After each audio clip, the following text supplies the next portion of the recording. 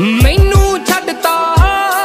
ਤੂੰ ਬਿਨਾ ਗੱਲ ਤੋਂ ਜਿਹਦੇ ਪਿੱਛੇ ਲੱਗ ਕੇ ਨਹੀਂ ਸੱਤ ਸਾਲਾਂ ਨੂੰ ਹੋ, ਸੱਤ ਦਿਨਾਂ ਵਿੱਚ ਹੈ ਕਿਉਂ ਮਿੱਟੀ ਕਰ ਗਈ ਨੀ? ਤੂੰ ਮਿੱਟੀ ਕਰ ਗਈ ਨੀ। ਨਾ ਰੱਬ ਤੈਨੂੰ ਮਾਫ ਕਰੂ, ਤੂੰ ਪਛਤਾਉਣਾ